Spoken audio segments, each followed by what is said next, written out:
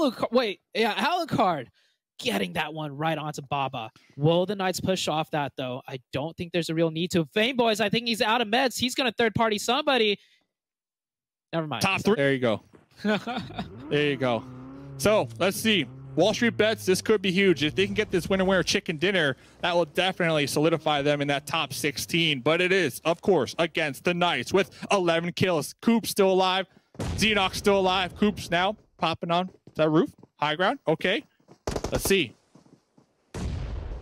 Coops with the high ground. I love seeing these players make use of the roofs. This is something that we see more. Oh, scratch that, Dave. Coops is down because he's on the roof. 4v2 situation for Wall Street Bets. Can they close this one out? Wall Street Bets not making that much noise, you know, in the past couple of days, but if they could take down the Knights here, that'd be something else. Drago with the UMP off to the side, 1v4. Can Xenox do it again? Baba. Oh, there's that same Molotov. It's Baba. not happening.